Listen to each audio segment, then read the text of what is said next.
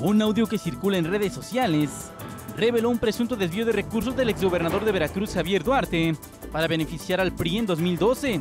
Duarte presuntamente habría enviado mil millones de pesos del gobierno de Veracruz al Comité Ejecutivo Nacional del PRI. En el audio se escucha una conversación entre dos personas, quienes presuntamente son Duarte y su ex tesorero Tarek Abdalá, donde hablan sobre el envío de dinero en cajas de huevo al PRI.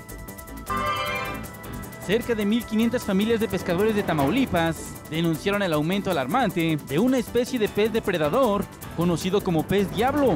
Esta especie es originaria de Sudamérica, habita desde Costa Rica hasta Uruguay, especialmente en Panamá, Colombia, Venezuela, Ecuador y Guayana, pero ha invadido aguas de México.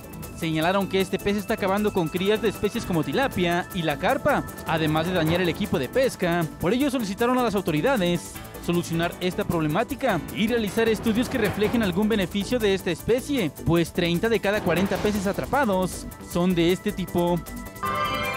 Para celebrar el 50 aniversario de la aplicación del plan DN3E, el Banco de México puso en circulación una moneda conmemorativa de 20 pesos. Se trata de una moneda que en el anverso luce el escudo nacional rodeado por la leyenda Estados Unidos mexicanos y en el reverso una representación del brazalete distintivo del plan con la leyenda 50 años plan DN3E, además de dos imágenes alusivas al ejército y a la Fuerza Aérea Mexicana para reconocer la labor de la Secretaría de la Defensa Nacional al salvaguardar la vida y los bienes de la población afectada por algún desastre.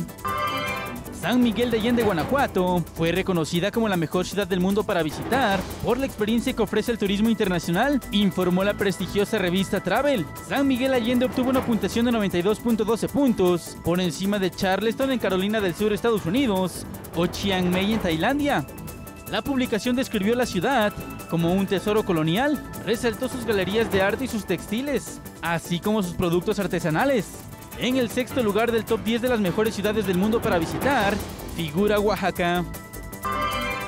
Un comando armado irrumpió en una fiesta familiar en Tizayuca en el estado de Hidalgo y asesinó a 11 personas, cuatro mujeres y siete hombres que se encontraban reunidos en el lugar. Tras el reporte de los hechos, las autoridades arribaron a la zona y encontraron a tres niños de 14, 12 y 5 años de edad, así como a una niña de 4, quienes relataron que sujetos encapuchados, vestidos como policías, arribaron al lugar y asesinaron a todos los asistentes de la fiesta.